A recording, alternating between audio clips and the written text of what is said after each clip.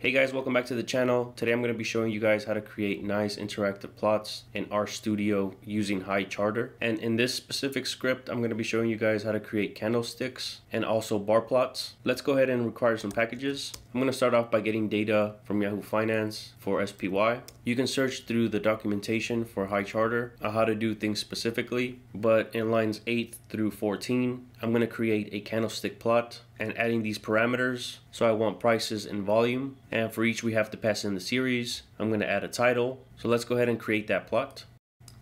Now on the lower right hand side of RStudio, you should see the plot under viewer and I'm going to click on zoom.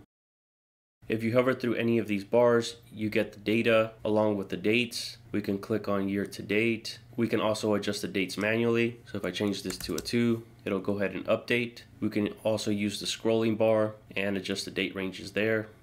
The cool part is that you can export these charts as HTML and I'll show you how to do that in the next plot we create. So for now, let's go ahead and close this out. I'm gonna get data for several tickers. I'm gonna get annual returns and then compare those in a bar plot. So I'll go ahead and run this block.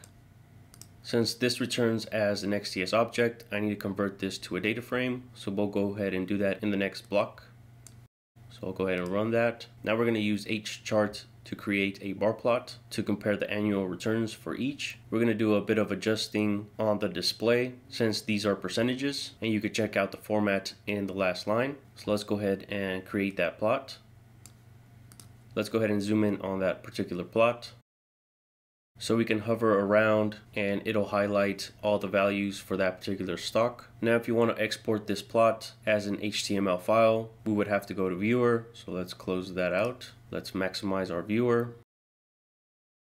Alright, so from viewer, we're going to click on export. We're going to save as a web page. I'm going to click save. And for me, this popped up in Chrome. So now we can view these as HTML. So let me drag in my browser. So it's going to save in the file location you specified. Now you can share this HTML file and it'll still be interactive.